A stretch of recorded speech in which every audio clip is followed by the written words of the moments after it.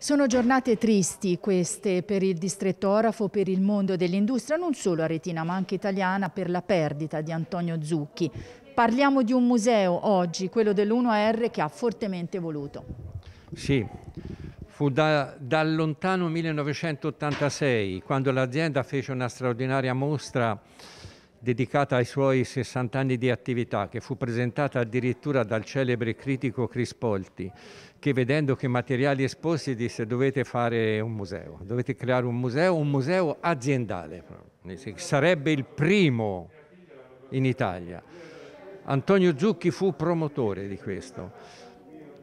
Ci mise subito in moto per ricercare le prime produzioni dell'azienda nei, nei mercati, nelle aste, quindi riuscimmo a fare una collezione che nel 1998 fu istituito il museo e fu aperto nella vecchia sede di Via Fiorentina e ora continua la sua attività nella nuova sede di San Zeno.